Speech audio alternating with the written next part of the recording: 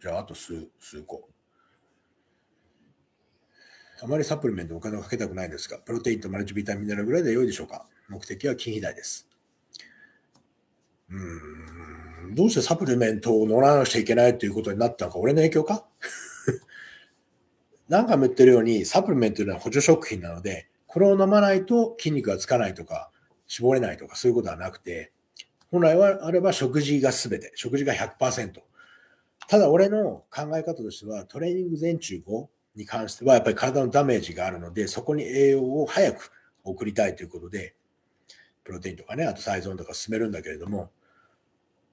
ここの部分を食事、お金が全くない。まあ食事は、食事ももちろんお金かかるんだけれども、サプリメントは飲みたくない食事であの食べるということがあれば、俺は別に間違ってはいないと思うよ。なので、えー、この人はお金をかけたくないということであれば、まずプロテインは、さっきもから言ってるように、タンパク質が足りない場合の補助食品なので、もちろんプロテインは飲まなくてもいいわけ。食べ物から食べれれば。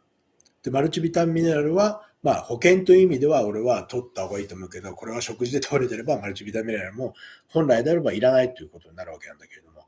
まあ、ボディビルダーみたいに偏った食事をする場合はマルチビタミネラルはまあ取っておいた方がいいかなということはあるね。なので、別にサプリメントを飲まなくても、それはそれで OK だよ。ただ俺は何度も言ってるように、自分の経験から言うと、トレーニング前中後に関しては、取っ